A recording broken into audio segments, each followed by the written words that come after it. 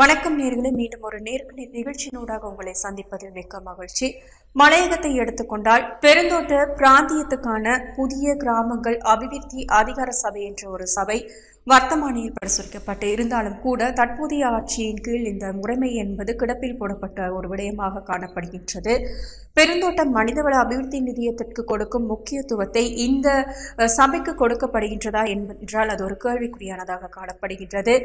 மலையக நிர்வாக கட்டமைப்பை ஒரு முறைமைக்குள் கொண்டு வரக்கூடியதாக இந்த மலையக அபிவிருத்தி அதிகார சபை என்பது காணப்படுகிறது. என்றாலும் கூட அரசாங்கம் இந்த விடயத்தில் ஒரு பின்வாங்கும் நிலைமையை காணப்படுகிறது. இந்த சபையை செயலுருவப்படுத்துவதில் ஏன் அரசாங்கம் பின்வாங்குகிறது என்ற ஒரு கேள்விக்குறியும் காணப்படுகின்றது. இந்த சூழ்நிலையில் மலையக மக்களுக்கான தபால் விநியோக சேவை அதை மலையக மக்களுக்கு முகவரியை பெற்றுக் கொடுப்பதில் மனித பெருந்தோட்ட மனிதவள அபிவிருத்தி நிதியம் அண்மை காலமாக முனைப்புடன் செயற்பட்டு வருகின்றது. என்றாலும் கூட இது எவ்வளவு தூரம் சாத்தியப்பாடு சாத்தியப்படுத்தப்படும் என்பது மலையக பிரதிநிதிகளுடைய கருத்தாக காணப்படுகின்றது. இன்றைய இந்த சூழ்நிலையில் இன்றைய நேருக்கு நேர் நிகழ்ச்சியில் மலையக அபிவிருத்தி அதிகார சபை அதை அதை போன்று பெருந்தோட்ட மனிதவள அபிவிருத்தி நிதியத்துடைய செயற்பாடுகள் உள்ளிட்ட விடயங்கள் தொடர்பில் நாங்கள் அவதானம் செலுத்துவதற்குள்ளும். அந்த வகையில் இன்றைய நேருக்கு நேர் நிகழ்ச்சியில் உடன் பங்கேற்கின்றார். மத்திய மாகாண சபையின் முன்னாள் உறுப்பினர் சோவனா ஸ்ரீதரன் அவர்கள் அவர் நிகழ்ச்சிகள் இணைத்துக் கொள்ளலாம். வணக்கம். நல்லாட்சி அரசாங்கத்தின் காலத்தில் ஒரு கோரிக்கையாக முன்வைக்கப்பட்டு பெருந்தோட்ட பிராந்தியத்துக்கான புதிய கிராமங்கள் அபிவிருத்தி அதிகார சபை அதாவது மலையக அபிவிருத்தி அதிகார சபை என்ற ஒரு விடயம் கொண்டு வரப்பட்டாலும் கூட அது தற்போது கிடப்பில் போடப்பட்ட ஒரு விடயமாக காணப்படுகின்றது. இந்த சபையினூடாக பல்வேறு பணிகள் மக்கள் பல்வேறு பரணி மக்கள் பெற்றுக்கொள்ளக்கூடியதாக இருக்கின்ற சூழ்நிலையில் அரசாங்கம் ஏன் இதனை கிடப்பில் போட்டிருக்கின்றது என்பது தொடர்பில் உங்களால் கூற முடியுமா? ஆயிரத்தி தொள்ளாயிரத்தி தொண்ணூத்தி ரெண்டாம் ஆண்டிலிருந்து ம- மலையக பகுதிகளுக்கு ஒரு நிலையான அபிவிருத்தி திட்டம் தேவை. ஆஹ் அந்த அடிப்படையிலே பத்தாண்டு திட்டம் போன்ற பல திட்டங்கள் அன்றைய ஆட்சியாளரால் முன்மொழியப்பட்டது. ஆஹ், அதனைத் தொடர்ந்து மலையக பெருந்தோட்ட பகுதிகளுக்கு அபிவிருத்திக்கான அமைச்சுகள் உருவாக்கப்பட்டது. பிறகு அது இல்லாமல் ஆக்கப்பட்டது சமூக அபிவிருத்தி அமைச்சு என்ற அடிப்படையிலே அமைச்சுகள் உருவாக்கப்பட்டு பிறகு அது இல்லாமல் ஆக்கப்பட்டது பிறகு ரெண்டாயிரத்தி பதினாலாம் ஆண்டு தற்காலிக அரசாங்கத்திலே பெருந்தோட்ட உட்கட்டமைப்பு என்ற அமைச்சு மீண்டும் ஏற்படுத்தப்பட்டு அதில் இன்றைய பாராளுமன்ற உறுப்பினர் ஆஹ், திகாம்பரம் அவர்கள் அமைச்சராக இருந்தார். அதனை பிறகு இரண்டாயிரத்தி பதினைஞ்சாம் ஆண்டு நல்லாட்சி அரசாங்கம் ஏற்படுத்தப்பட்ட பிறகு புதிய கிராமங்கள் ஆஹ், ஆஹ், உட்கட்டமைப்பு அபிவிருத்தி அமைச்சு என்ற ஒரு புதிய அமைச்சு உருவாக்கப்பட்டது. இந்த அமைச்சினுடைய வேலை திட்டங்கள் அமைச்சு மட்டத்திலே தான் மேற்கொள்ளப்பட்டு வந்தன. குறிப்பாக வீடமைப்பு திட்டங்கள் ஆஹ், ஏனைய உட்கட்டமைப்பு வசதிகள் இவைகள் அமைச்சு மட்டத்தில் தான் ஏற்படுத்தப்பட்டு வந்தன. இவ்வாறான ஒரு சந்தர்ப்பத்திலே பத்தாண்டு திட்டத்தை மலையத்துக்கு என்று ஏற்கனவே முன்மொழியப்பட்ட பத்தாண்டு திட்டத்தை அதாவது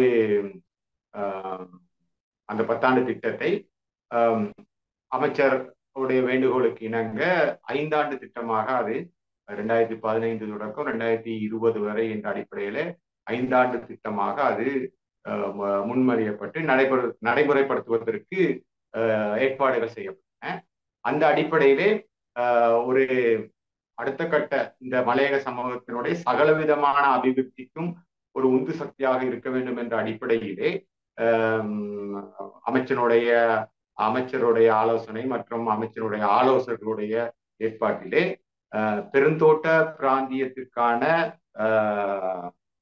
புதிய கிராமங்கள் அபிவிருத்தி அதிகார சபை என்ற ஒரு அபிவிருத்தி அதிகார சபை ஒன்று ஏற்படுத்த வேண்டும் என்ற நோக்கத்தின் அடிப்படையிலே அது பார்லமன்றத்திலே ஆஹ், ஆஹ், சட்டம் மூலமாக நிறைவேற்றப்பட்டது வர்த்தமானியில் அறிவிக்கப்பட்டது. அதன் பிறகு அது முழுமையான ஒரு அதிகார சபையாக ஏற்படுத்தப்பட்டது. அதனைத் தொடர்ந்து அது அது தொடர்பிலே ஆஹ், அமைச்சு அதாவது அன்றிருந்த ஆஹ், புதிய கிராமங்கள் உட்கட்டமைப்பு அமைச்சின் ஊடாக அந்த அதிகார சபைக்கான சகல ஏற்பாடுகளும் செய்யப்பட்டு தனிப்பிரிவுகள் ஏற்படுத்த தனிப்பிரிவு ஏற்படுத்தப்பட்டு அதன் ஊடாக அபிவிருத்தி உட்பட ஏனைய சமூக நலன் சார்ந்த விடயங்களை முன்னெடுக்கும் சந்தர்ப்பம் ஆர சந்தர்ப்பம் ஏற்பட்ட போது அரசா அந்த ஆட்சி மாற்றங்கள் ஏற்பட்ட காரணத்தினால் அந்த நேரத்திலே அது முழுமையாக அமுல்படுத்த முடியாமல் போய்விட்டது. அதனைத் தொடர்ந்து வந்த தற்போதைய அரசாங்கத்திலே இப்பொழுது அந்த அதிகார சபை இருக்கின்றது.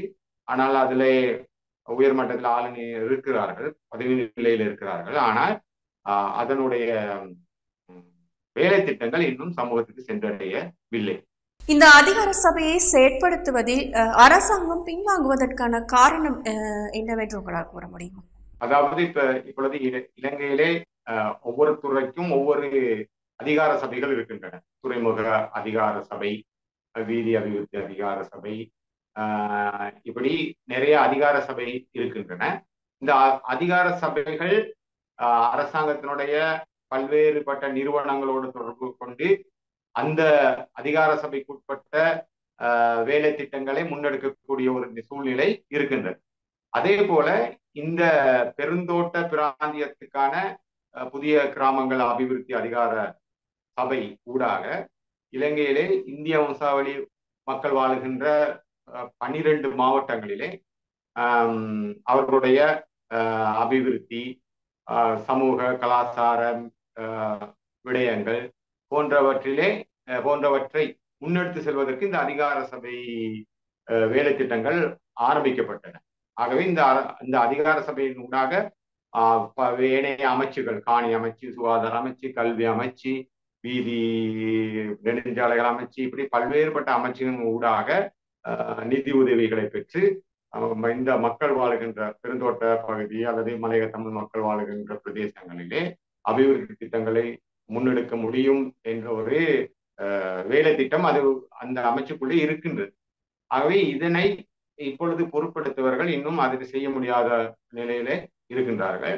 ஆகவே அந்த அதிகார சபை உரிய வகையிலே நடைமுறைப்படுத்தப்பட்டு அந்த வேலை திட்ட திட்டங்கள் இந்த இந்திய வம்சாவளி மக்கள் வாழ்கின்ற பனிரெண்டு மாவட்டங்களும் விஸ்தரிக்கப்பட்டால் இன்று பல்வேறுபட்ட அபிவிருத்திகளை நாம் காணக்கூடியதாக இருக்கின்றது. ஆனால் தற்போது இந்த நாட்டிலே இருக்கிற பொருளாதார நெருக்கடி காரணமாக அதனுடைய சேவைகளை முன்னெடுக்க முடியவில்லை என்ற ஒரு கருத்தும் சொல்லப்படுகின்றது. இருந்த போதும் இந்த பெருந்தோட்ட பிராந்தியத்துக்கான புதிய கிராமங்கள் அபிவிருத்தி அதிக அதிகார சபையை பொறுப்பு எடுத்தவர்கள் அதனை பொறுப்புணர்ந்து செயல்படுத்த வேண்டும் என்பதுதான் எங்களுடைய எதிர்பார்ப்பாக இருக்கிறது. இந்த சபை செயற்படுத்தப்படுமாயின் எவ்வாறான நன்மைகளை பெருந்தோட்ட மக்கள் பெற்றுக்கொள்வார்கள் அதாவது அரசாங்கத்தினுடைய இயந்திரத்தை இங்கு நாங்கள் நகர்த்தலாம். அதாவது இந்த அதிகார சபையின் ஊடாக பெருந்தோட்ட பகுதிக்கு நாங்கள் நகர்த்தலாம். அதாவது தோட்டங்களை கிராமங்கள் அமைக்க வேண்டும். அப்ப கிராமங்கள் அமைப்பதற்கு வீடமைப்பு கிராமங்களை அமைக்க வேண்டும். அந்த வீடமைப்பு கிராமங்களை அமைப்பதற்கு சம்பந்தப்பட்ட அமைச்சின் நிதியை மாத்திரம் பெறாமல் தேசிய மட்டத்தில் இருக்கிற வீடமைப்பு அதிகார சபை வீடமைப்பு அமைச்சனுடைய நிதியை பெற்றுக் கொள்ளலாம். அதாவது இந்த கிராமத்துக்கான குடிநீர் விநியோகத்தை அது நீர்ப்பாசன வடிகால் அமைச்சனுடைய உதவியை பெற்றுக்கொள்ளலாம் போக்குவரத்துக்கான நெடுஞ்சாலைகள் அமைக்கிறதுக்கு அதற்குரிய அமைச்சனுடைய உதவியை பெற்றுக்கொள்ளலாம் இப்படி பல உதவிகளை பெறக்கூடியதாக இந்த அதிகார சபைக்கு அதிகாரம் இருக்கின்றது. அதே போல வெளிநாடுகள்ல இருந்து நிதியையும் பெற்று நமது சமூக இந்த சமூகத்தினுடைய மேம்பாட்டுக்காக வேலை திட்டங்களை முன்னெடுக்கலாம் தொழில் வாய்ப்புகளை ஏற்படுத்தலாம். இப்படி நிறைய அதிகாரம் இருப்பதால் தான் நாங்கள் அதனை நாங்கள் அதிகார சபை என்று சொல்லுகின்றோம். அதாவது அந்த பெருந்தோட்ட பிராந்தியத்துக்கான புதிய கிராமங்கள் என்று சொல்லும்போது இந்த ஒரு ஒரு கிராமத்துக்கு என்னென்ன அடிப்படை தேவைகள் இருக்கின்றனவோ அவற்றை எல்லாவற்றையும் பல்வேறு அமைச்சுக்கள் அரச நிறுவனங்கள் வெளிநாட்டு நிதி மூலங்கள் இவற்றின் இவற்றினை பெற்று இந்த புதிய கிராமங்களிலே உட்கட்டமைப்பு வசதிகளையும் ஏற்படுத்தி அந்த கிராமங்களில் வாழ்கின்ற மக்களுடைய அதாவது கலை கலாச்சார சமூக மேம்பாட்டு விடயங்களுக்கு உதவி செய்ய முடியும். பெருந்தோட்ட மனிதவள அபிவிருத்தி நிதியத்துக்கு தற்போதைய பெருந்தோட்ட சார் அமைச்சுகள் முக்கியத்துவம் அளித்து செயற்பட்டு வருகின்றன. இது தொடர்பில் உங்களுடைய நிலைப்பாடு? அதாவது இந்த நாங்கள் சொல்லுகின்ற இந்த பெருந்தோட்ட மனிதவள அபிவிருத்தி நிறுவனம் என்பது ஒரு செமி கவர்மெண்ட் அப்படின்னு தான் நாங்கள் சொல்லுவோம். அதாவது ஒரு தனியார் நிறுவனம் அரசாங்க அமைச்சின் கீழ் செயல்படுகின்ற ஒரு நிறுவனம். அப்ப அப்படியான ஒரு நிறுவனம் தான் இந்த பெருந்தோட்ட மனிதவள அபிவிருத்தி நிறுவனம். அது ஒரு அது ஒரு தனியார் நிறுவனம். ஆனால் அந்த அமைச்சு கீழே செயற்படுகின்ற நாள் அரசாங்கத்தினுடைய தலையீடும் அதுக்கு இருக்கின்றது. அதே போல பெருந்தோட்ட கம்பெனிகள் அந்த கம்பெனிகளுக்கு உதவி செய்கின்ற வகையிலும் இந்த பெருந்தோட்ட மனிதவள அபிவிருத்தி நிறுவனம் இருக்கின்றது. ஆகவே இது ஒரு ஒரு ஒரு தனியார் நிறுவனம். அதாவது அரசாங்கத்தினுடைய பங்களிப்பும் இருக்கிறது. இருக்கிறது. அதே போல தனியார் செயற்பாடும் இருக்குது. ஆகவே இந்த இரட்டைத்தன்மை உள்ள இந்த பெருந்தோட்ட மனித வள அபிவிருத்தி நிறுவனத்தூடாக எமது மலையக பெருந்தோட்ட மக்களுக்கு நூறு விதமான சேவையை எதிர்பார்க்க முடியாது. அது அவங்களுடைய சட்ட திட்டங்களோடு தான் அவர்களுடைய சேவையை செய்ய முடியும். அவை ஆகவே இது ஒரு ஒரு ஒரு அமைச்சு கீழே இருக்கின்ற ஒரு நிறுவனம் என்று மாத்திரம்தான் சொல்ல முடியுமே தவிர இதன் ஊடாக நாங்கள் எமது பெருந்தோட்ட மக்களுக்கு பாரிய ஒரு சேவையை எதிர்பார்க்க முடியாது. பெருந்தோட்ட மனிதவள அபிவிருத்தி நிதியத்தின் ஊடாக முகவரியற்ற தரப்பினராக காணப்படுகின்ற மலையக மக்களுக்கு முகவரியை பெற்றுக் கொடுக்கும் நடவடிக்கைகள் முன்னெடுக்கப்பட உள்ளதாக அண்மையில் கூறப்பட்டிருந்தது. அதே போன்று பெருந்தோட்டத்துறையை எடுத்துக்கொண்டால் தபால் விநியோக சேவை என்பது வினைத்திறன் மிக்கதாக காணப்படவில்லை. தபால் சேவை என்பது அங்கு ஒரு மலங்கடிக்கப்பட்ட ஒரு துறையாக காணப்படுகின்றது. இந்த பெருந்தோட்ட மனிதவள அபிவிருத்தி நிதியத்தினூடாக இந்த முகவரியை பெற்றுக் கொடுப்பதும் அதே போன்று தபால் சேவையை வினைத்திறன் மிக்க சேவையாக முன்னெடுப்பதுக்கான பணியை முன்னெடுக்கும் முடியும் என்று நீங்கள் கருதுகின்றீர்களா? அதாவது நாங்கள் நான் ஏற்கனவே சொன்னது போல நாட்டிலே ப பனிரெண்டு மாவட்டங்களிலே பெருந்தோட்ட மக்கள் வாழுகின்றார்கள். குறிப்பாக நாங்கள் மத்திய மாகாணம் உவா மாகாணம் சப்ரகமுவ மாகாணம் மேல் மாகாணம் தென் மாகாணம். இந்த மாகாணங்களிலே உள்ளடக்கப்பட்ட மாவட்டங்களிலே பெருந்தோட்ட மக்கள் வாழுகின்றார்கள். ஆகவே இந்த பெருந்தோட்ட மக்களுக்கு காலம் காலமாக நேரடி தபால் விநியோகம் இல்லை. நேரடி தபால் விநியோக முறை ஒன்று இல்லை. அது ஏன் என்று சொன்னால் இந்த தோட்டங்கள் அரச நிர்வாகத்துக்குள் உரிய முறையில் உள்வாங்கப்படாத காரணத்தினால் இந்த மக்களுக்கு அரசாங்கத்தினுடைய அந்த நேரடி தபால் சேவை மறுக்கப்பட்டு தான் வந்தது. இப்பொழுது நாங்கள் பல விடயங்கள் அதாவது இப்ப உள்ளூராட்சி மன்றங்கள் ஊடாக தோட்ட பகுதியில் அபிவிருத்தி செய்ய முடியாத ஒரு நிலைமை இருந்தது. ஆகவே உள்ளூராட்சி மன்ற அந்த சட்டத்திட்டத்திலே முப்பத்தி மூணாவது சரத்து சரத்தில் ஒரு திருத்தம் ஏற்படுத்தப்பட்ட காரணத்தினால்தான் இப்பொழுது உள்ளூராட்சி மன்றங்கள் ஊடாக சேவையை தோட்ட பகுதிகளுக்கு செய்யக்கூடியதாக இருக்கிறது. அதே மாதிரி தான் இந்த பெருந்தோட்ட மக்களுக்கான தபால் சேவைகளையும் பல்வேறு இழுபறி நிலைமை இருக்கின்றது. ஏற்கனவே எங்களோட சமுதாய சமுதாயத்தை பொறுத்தவரையிலே இந்தியாவிலிருந்து கடிதங்கள் அந்த காலத்திலிருந்து வந்திருக்கின்றன. அதே போல உள்நாட்டுக்குள்ளே கடித போக்குவரத்துகள் இருந்தன. இந்த கடித போக்குவரத்துகள் எல்லாம் இந்த கடிதங்கள் எல்லாம் தோட்ட நிர்வாகத்தால் நியமிக்கப்படுகின்ற ஒரு ஒரு ஊழியர் தபால் நிலையத்துக்கு சென்று அந்த தோட்டத்துக்கான தபால்களை எடுத்து வந்து தோட்டக்காரியத்தில் வைத்திருப்பார். அதன் பிறகு அங்கு தோட்டத்தில் உள்ளவர்கள் நமக்குரிய கடிதங்கள் வந்துள்ளனவா அல்லது தகவல் அறிந்து வந்து அந்த கடிதங்களை பெற்று செல்கின்ற ஒரு நிலைமை தான் நீண்ட காலமாக இருந்து வருகின்றது இதிலே சில காலங்களிலே சில தோட்டங்களுக்கு தோட்ட குடியிருப்புகளுக்கு முகவரியிட்டு ஒரு நேரடி தபால் விநியோகத்தை செய்ய வேண்டும் என்ற அடிப்படையிலே சில அரசு சார்பாற்ற நிறுவனங்கள் செயல்பட்டன. கிட்டத்தட்ட ஒரு பதினைஞ்சு வருடங்களுக்கு முன்பெல்லாம் முகந்தலா பிரதேசத்திலே சக்தி என்ற ஒரு நிறுவனம் பெக்கசோல் என்ற தோட்டத்திலே ஒரு எலுமாறாக ஒரு தோட்டத்தை எடுத்து அங்கு தோட்ட அந்த தோட்டத்துக்குள்ளே இருக்கிற தோட்ட குடியிருப்புகளை சமாதானபுரம் சாந்திபுரம் அப்படி எல்லாம் பேர் வைத்து நிலாவளிபுரம் நிலா ஒளிபுரம் என்றெல்லாம் பேர் வைத்து அந்த தோட்டங்கள் அந்த குடியிருப்புகளுக்கு முகவரி எல்லாம் விட்டு அதை தபால் நிலையத்தில் கொண்டு போய் கொடுத்தார்கள். அதாவது முகமண்டல தபால் நிலையத்தில் கொண்டு போய் கொடுத்து இப்படி முகவரிக்கு கடிதங்கள் வந்தால் நீங்கள் எங்களுக்கு நேரடியாக கொண்டு வந்து தர வேண்டும் அப்படின்ற ஒரு வேலை திட்டத்தை ஆரம்பித்தார். அப்பொழுது இருந்த தபால் அமைச்சருக்கும் இந்த விடயம் அறிவிக்கப்பட்டு முதன் முறையாக அந்த தோட்டத்திலே நேரடி தபால் விநியோகத்தை ஆரம்பித்தார். அந்த அடிப்படையிலே காலப்போக்கிலே பெருந்தோட்ட தபால் ஊழியர்கள் என்ற வகையில சில ஊழியர்களை நியமித்தார்கள்.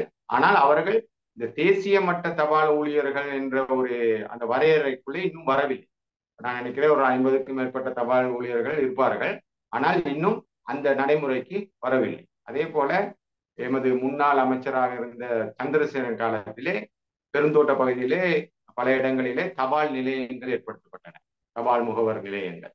ஆனால் அது அதுவும் முறையாக அமுல்படுத்த செயற்படுத்த காரணத்தினால் அவையும் இப்பொழுது மூடித்தான் சில இடங்களிலே காணப்படுகின்றன. ஆகவே இன்னும் இந்த பெருந்தோட்ட பகுதிக்கு நேரடியான தபால் விநியோகத்தை மேற்கொள்ள வேண்டிய ஒரு வேலை திட்டம் இன்னும் அரசாங்கம் சார்பில் ஆரம்பிக்கப்படவில்லை.